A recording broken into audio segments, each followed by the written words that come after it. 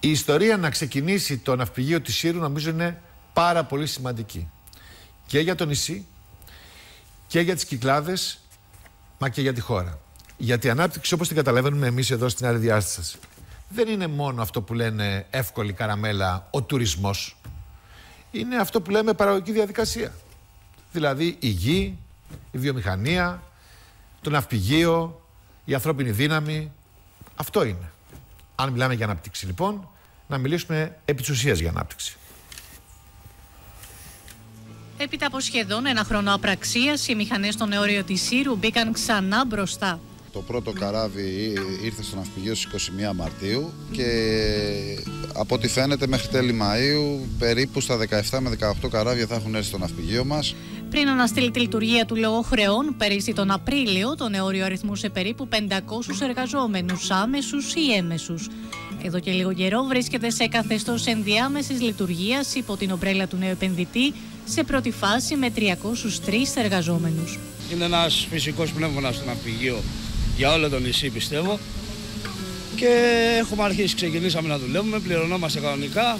Πώς ήταν η κατάσταση; Πριν, Ήταν δραματική όλο, για όλο το νησί. Και εγώ προσωπικά ξενιτεύτηκα και πήγα σε άλλο νησί. Και τώρα ξαναγύρισα πάλι η οικονομική ζωή της Σύρου ήταν άρρηκτα συνδεδεμένη από τον 19ο αιώνα με το ναυπηγείο του νησιού που ιδρύθηκε το 1861 από την Εταιρεία Ελληνικής Ατμοπλοείας. Στη μακρόχρονη ιστορία του, το νεόριο άλλαξε διάφορα χέρια, περνώντας από διαδοχικές φάσεις ακμής και παρακμής. Ούτε ρεύμα υπήρχε γιατί είχε κοπεί λόγω των ε, πολλών χρεών που υπήρχαν προς τη ΔΕΗ. Αντικείμενο δεν υπήρχε, είχαν σταματήσει να έρχονται πλοία. Γενικώς ένα κλειστό ναυπηγείο χωρίς ουσιαστικά την υπογραφή του κλεισίματος. Το επενδυτικό πλάνο του νέου ιδιοκτήτη για το νεόριο περιλαμβάνει την άμεση αποπληρωμή των οφειλών της προηγούμενης διοίκησης. 9,7 εκατομμύρια ευρώ προς τους εργαζόμενους και 1,3 εκατομμύρια ευρώ προς τους τοπικούς προμηθευτές. Ενώ στα τρία πρώτα χρόνια από την πλήρη επαναλειτουργία προβλέπεται η άμεση και έμεση απασχόληση 800 ατόμων.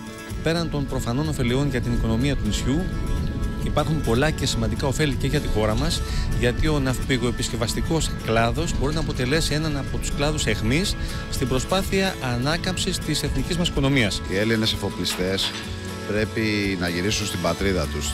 Θέλουμε να τους στείλουμε ένα μήνυμα ότι εδώ θα είναι το σπίτι τους.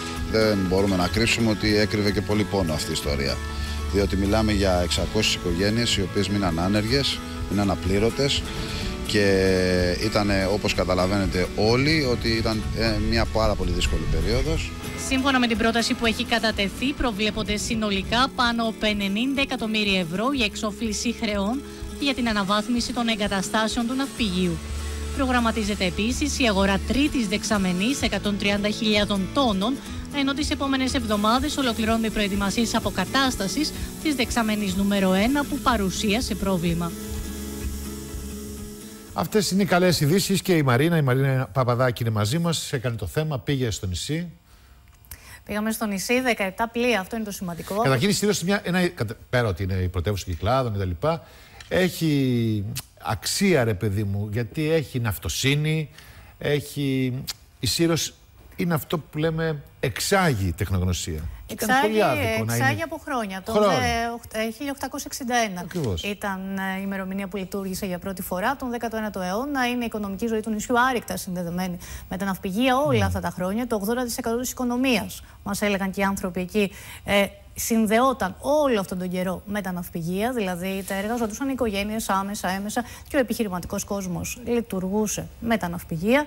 17 πλοία λοιπόν μέχρι σήμερα από τις 21 Μαρτίου που λειτουργήσαν ξανά για πρώτη φορά. Το ναυπηγείο επί της ουσίας πέρυσι τον Απρίλιο είχε αναστείλει τη λειτουργία του, είχε κοπεί, το ακούσαμε και στο βίντεο, το ρεύμα, το νερό, δεν πήγαιναν πλοία λόγω χρεών όλο αυτό και κακοδιαχείρισης επί της ουσίας κακοδιαχείριση χρόνων. Θυμόμαστε ούτω ή άλλω ότι έχει περάσει από διάφορε φάσεις όλα αυτά τα χρόνια. Από τότε δηλαδή που υπήρχε σε διάφορους ιδιοκτήτες, περίληφθε μετά στο κράτος, μετά ξανά σε ιδιώτες. Εμείς πετύχαμε τρία πλοία όσο ήμασταν εκεί. Πετύχαμε τον αποδεξαμενισμό ενός ε, πλοίου φορτηγού με σημαία Πορτογαλίας. Ήταν περίπου δύο μήνες στα ναυπηγεία, δύο, δύο εβδομάδες στα ναυπηγεία και τον δεξαμενισμό δύο νέων πλοίων. Ενός πετρελάδικου ελληνικών συμφερόντων και ενός ερευνητικού σκάφους από τα Cook Islands, αρκετά μακριά, μάλιστα.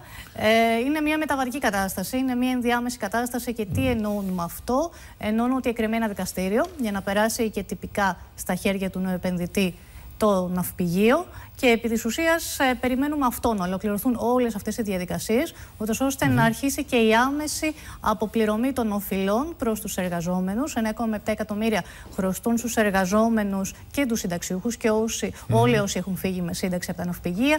1 εκατομμύριο ευρώ προς τοπικούς προμηθευτές. Το σύνολο είναι πάνω από 90 εκατομμύρια ευρώ και για χρέη και για επενδύσεις που θα γίνουν το επόμενο διάστημα. Ε, είναι σημαντικό ότι από τους 500 εργαζόμενους οι 200 ε, νομίζω 40, αν θυμάμαι καλά, ήταν μόνιμοι. Το προηγούμενο διάστημα 303 αυτή τη στιγμή στην ενδιάμεση λειτουργία έχουν ξαναπιάσει δουλειά. Εκτιμούν ότι πάνω από 800 θέσεις θα δημιουργηθούν. Πάμε να μιλήσουμε με τους ανθρώπους. Ακριβώς. Πάμε να μιλήσουμε με τους εργάτες. Ο Αντώνης ε, Χατζαντώνης είναι ο πρόεδρος του Σωματείου Ναυπηγείων του Νεωρίου Σύρου, τον οποίο βλέπετε, και ο Μάρκος ε, Ριγούτσος είναι ο Γενικός Γραμματέας Σωματείου του Ναυπηγείου Νεωρίου Σύρου. Πρόεδρε, γεια σας. Καλημέρα σας, κύριε Αρβανίτη. Χαίρομαι πάρα πολύ που σας βλέπω. Και χαίρομαι πάρα πολύ που έχετε δουλειά. Ναι, και εμά η χαρά μας είναι πολύ μεγάλη. Τι ήταν αυτό που οδήγησε ένα τέτοιο ναυπηγείο, με τέτοια ναυτοσύνη, με τέτοια γνώση, τεχνογνωσία, με τέτοιο καλού, καλό εργατικό δυναμικό, δηλαδή το λιώνανε τα τσάλι, να περάσει τέτοια περιπέτεια κατά τη γνώμη σας; Κοιτάξτε κύριε Αλβανίτη, ε, η ελληνική ναυτιλία γνωρίζουμε όλοι πολύ καλά ότι κρίση δεν έχει.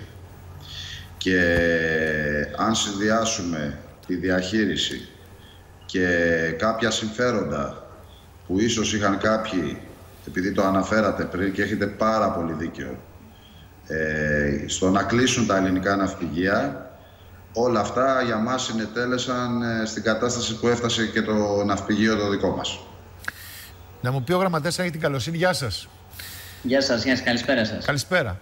Ε, ο, πόσο καιρό ήταν, το είπε η Μαρίνα πριν να το ξανατονίσουμε πάλι, πόσο καιρό ήταν κλειστό το ναυπηγείο, δηλαδή για πόσο καιρό οι συνάδελφοί σας ήταν έολοι; Ναι, ήταν από το τέλος του Απριλίου του 2017 πέρσι μέχρι και μέσα Μαρτίου περίπου φέτος του 2018.